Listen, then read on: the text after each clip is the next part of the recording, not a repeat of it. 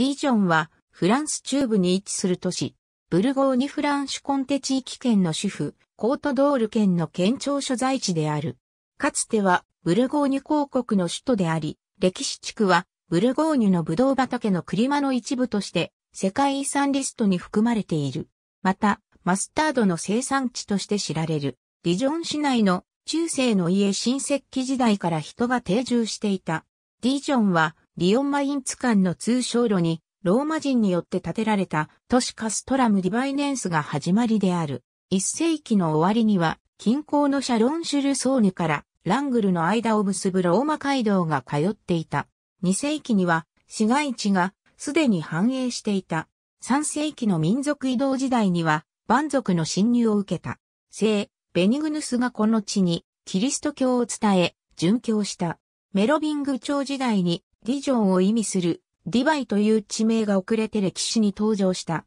5世紀よりラングル司教座がディジョンに置かれ、聖ベニーニを埋葬した修道院が数形を受けた。6世紀、トゥールのグレゴリウスは、次女イストワールデス・フランの中で、ディジョンを堅固な城壁のあるカストゥルムとして、記述を残している。10世紀のイタリア人聖職者、グリエルモ・ボルピアーノは、イタリアやフランスを巡礼して回ったが、ブルゴーニュでも他と等しく登竜し、990年には当時重要な巡礼地であったディジョンのサンベニー修道院の聖職者となった。1031年、ブルゴーニュ公ロベール一世が広告の首都をディジョンとした。1137年、ディジョン中心部が大火で灰と化した。歴代の公爵は城壁を以前のものよりさらに大きいものへと再建した。この城壁は18世紀まで旧市街を守っていた。12世紀終わりから13世紀にかけ、サントシャペル、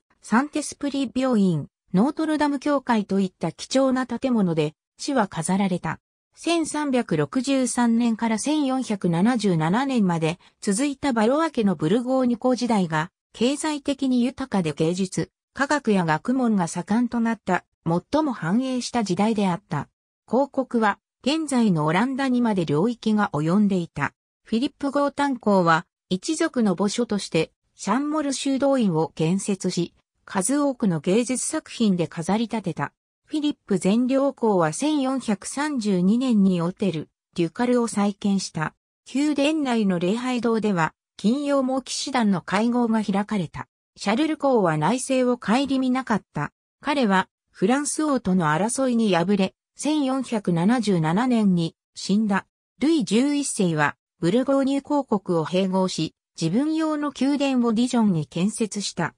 1513年9月、同年6月のノバラの戦いで、大勢のスイス兵と戦って敗退した司令官、ルイ2世、ドラトレモイユは、支払いの約束された40万駅を持って立ち去ることができなくなった。これらの金が思いがけなく引き渡され、ノートルダムド・ディジョン教会に保存されている黒い聖母への取りなしとされた。ブルゴーニュ議会がボーヌからディジョンへ移されると、鍵を持つ貴族らがこぞってディジョンに邸宅を建てた。対抗改革の後、ディジョンには新たな教会、礼拝堂、修道院が建てられた。フランス王がディジョンを間抜けどもの都市と呼んだという。市の経済活動においては、ブドウ栽培の開発がとりわけ無視できない。18世紀はディジョンの繁栄の新時代であった。1731年には司教座が置かれた。近郊のルクルーゾで採掘される石炭と鉄の運搬のため、ブルゴーニュ運河が1832年に開通し、ディジョンは重要な経済都市となった。1851年、パリ・ディジョン間の鉄道が整備された。この結果、ディジョンの経済成長が急速に進んだ。1870年10月30日、不仏戦争にフランス第二帝政が敗れて新たに臨時政府が樹立される中、プロイセン軍がディジョンを占領した。11月26日、ジュゼッペ・ガリバルディ率いる共和派義勇軍とフランス正規軍のシャルル・ブルバキ将軍が攻勢を開始した。しかし、プロイセン軍の妨害で、ブルバキ軍は合流に失敗してスイス国境に追いやられ、防樹軍は一旦オータンに引き返して、プロイセン軍と戦った。プロイセン軍は、オータンを攻めあぐねて、ディジョンに戻り、やがて別の攻撃を行う必要から一時的に、ディジョンからも交代した。1871年1月21日、戦力を補充した防樹軍は、再度の進軍に乗り出し、これに、プロイセン軍もディジョン西方から防衛軍を引き返させた。戦いで、防樹軍は、リッチョッティガリバルディ隊が、第61ポメラニア連隊の連隊機を奪取する、先行を挙げ、1871年1月25日に、プロイセン軍は、ディジョン確保を諦めて後方に下がった。入場したガリバルディと防樹軍は、共和派の住民から歓迎されたが、反対に保守派の住民からは、外人部隊として、プロイセン同様に敵視された。臨時政府がパリ防衛のために、他の拠点を捨て駒にすると、防樹軍もディジョンから撤収を余儀なくされ、プロイセン軍が二度目のディジョン占領に成功した。不仏戦争で自国の防衛設備がいかに球体、依然としたものか思い知らされたフランス政府は、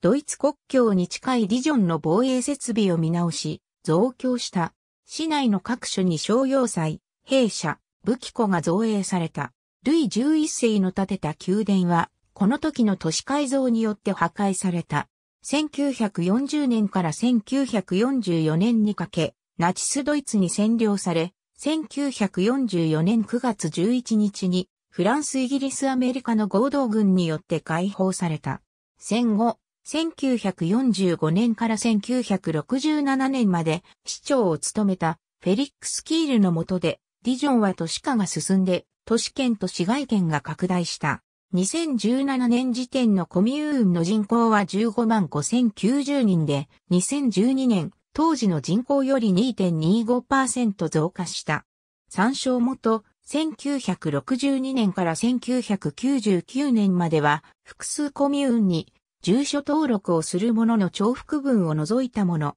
それ以降は、当該コミューンの人口統計によるもの。1999年まで、イヘス、カシニー、2006年以降 INSEE サンベニード、ディジョン大聖堂、ノートルダムドディジョン教会の黒い聖母サクレクールド、ディジョン教会数多くの戦火に巻き込まれながら、かつての繁栄の時代を物語る建物が現存する。特に中心部には、12世紀から10、ディジョンは美食の都として知られる。エスカルゴ、ブルゴーニュ産、トリュフ、パンデピス、ブフブルギニョン、クレームドカシスの原料となるクロスグリなどがディジョンの味覚の代表である。ディジョンはマスタードで有名。ディジョンマスタードと呼ばれる伝統的なマスタードは強い風味を持っている。ディジョンでは変わったフレーバーのマスタードも作っており、陶器のポットに入れて売られていることが多い。アメリカなどでもディジョンマスタードという名前の商品は購入できるが、ディジョンで作られた本物ではない。